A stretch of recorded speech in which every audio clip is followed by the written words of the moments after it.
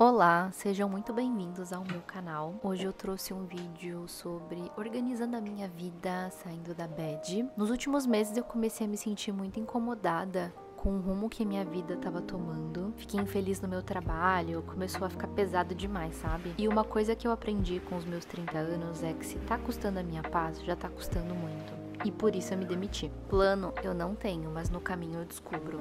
Toda vez que eu me sinto um pouco perdida, eu gosto de organizar minha casa. Me ajuda a organizar a mente, sabe?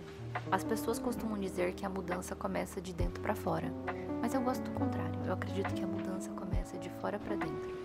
E aproveitando que ainda falta três meses para o ano acabar, decidi que quero mudar algumas coisas na minha vida e fazer esse ano de 2024 terminar diferente. Eu estou na minha era, não sei como, mas eu vou.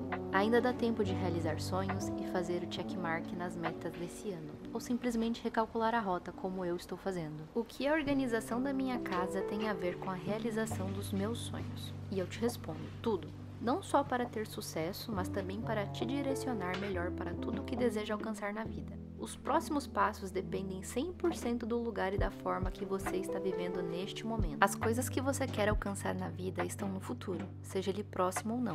E para chegar lá é necessário estar bem. Me diga se você não se sente melhor quando levanta de manhã sem aquela pilha de louças para lavar, que não se sente mais confortável dormindo em um lençol limpinho. É mais prático quando você está atrasada e não passa pelo estresse de não encontrar determinada roupa. Sei que para muitas pessoas, e eu tô me incluindo aqui nessa, fazer uma faxina em casa não é uma tarefa muito estimulante, como a vontade que temos de ficar no celular. Mas eu te convido a tentar mudar a sua mentalidade em relação a isso, refletindo que a sua casa ou quarto, se ainda morar com seus familiares, precisa ter o poder de realinhar você, carregar as suas energias. Você precisa se sentir abraçada pelo seu cantinho, porque é nesse lugar que os seus sonhos começam a tomar forma. É onde você tem segurança, onde fica protegido de diversos perigos do mundo. É para onde você volta todo fim de dia, talvez faça tempo que você não agradeça por isso. O seu lar é onde você coleciona memórias.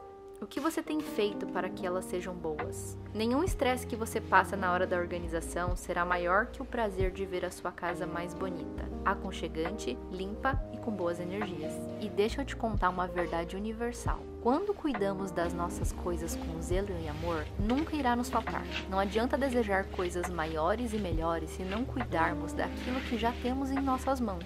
Quando zelamos pelo que temos, comunicamos que estamos prontos para receber coisas novas. Mas voltando às minhas metas desse ano, eu não fui ambiciosa. Eu apenas decidi que queria realizar alguns sonhos que estavam na gaveta. Um deles foi conhecer a Chatsworth House, a casa do Mr. Darcy na obra literária de Jane Austen. Eu não só conheci a casa, como fiz uma tour do sul ao norte da Inglaterra, inspirada no meu livro favorito da autora, Orgulho e Preconceito. Eu também iniciei a empreitada de refazer todo o meu guarda-roupa totalmente inspirado em doramas. Inclusive, tem vídeo aqui no canal sobre isso, tanto do meu guarda-roupa quanto das minhas viagens inspirada em Jane Austen. E talvez o maior salto de coragem desse ano, na verdade, eu preciso me corrigir, foi um tropeço. Pois muitas coisas erradas precisaram acontecer para que enfim desse certo. Mas a gente também não pode esquecer que tropeço também é um passo. Eu voltei a escrever depois de seis anos.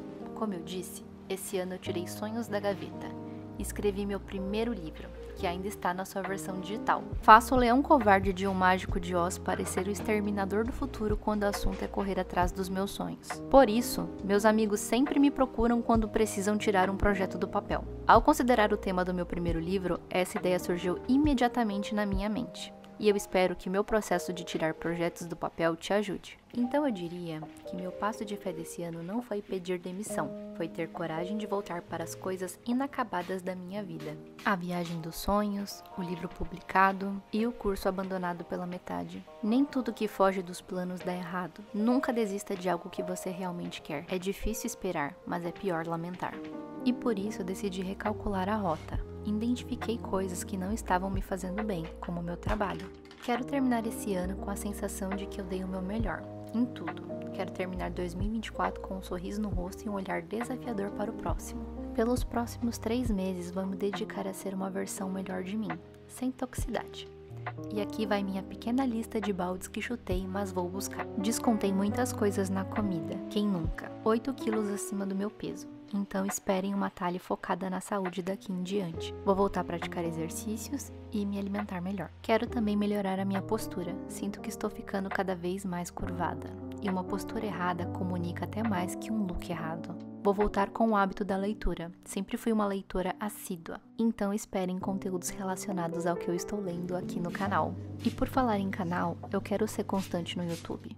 Esse canal é uma terapia para mim e quero ser presente aqui, inclusive mostrar a trajetória desses próximos três meses. E fica aqui o meu convite: bora terminar esse ano diferente? Afinal, trabalhar em dupla é bem mais legal. E lembre-se, sempre que não souber por onde começar, comece pela organização.